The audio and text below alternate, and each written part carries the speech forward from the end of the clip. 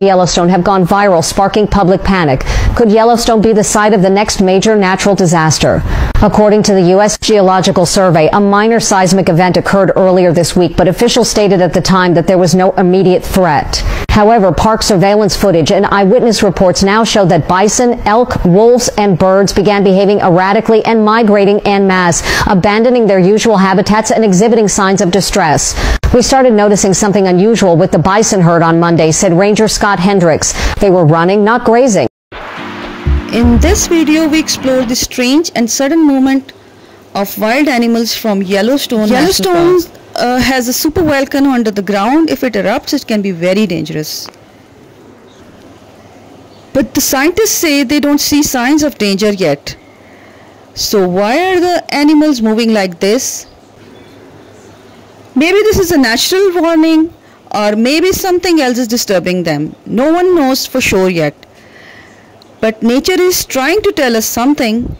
We must pay attention. Watch this video till the end to see what's really happening. But for sure, something strange is happening in Yellowstone. Wild animals are suddenly leaving the park. Bison, deer, and even bears are running fast, far away from their natural homes.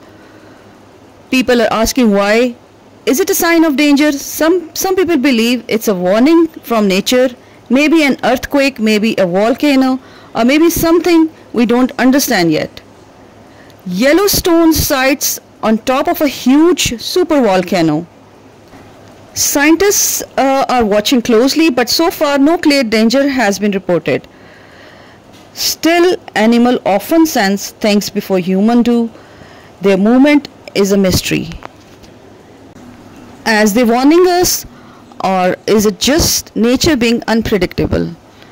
Stay aware, stay curious. Nature speaks, we just need to listen. Animals can feel things before humans. They feel small changes in the ground, air, and sounds. Maybe this is a natural warning, or maybe something else is disturbing them. No one knows for sure. But nature is trying to tell us something we must pay attention.